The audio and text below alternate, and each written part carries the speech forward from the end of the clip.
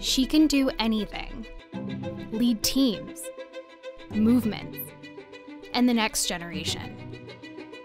She can break through barriers and defy gravity. She can write her own rules and change the game forever.